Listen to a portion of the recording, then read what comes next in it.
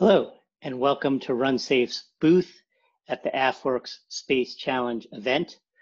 Our Alkemist software is about cyber defense because your weapon systems and space systems are complex and difficult to modify. We offer an approach to cyber resiliency that doesn't require rewriting of code and doesn't impact your current system's functionality. Thank you.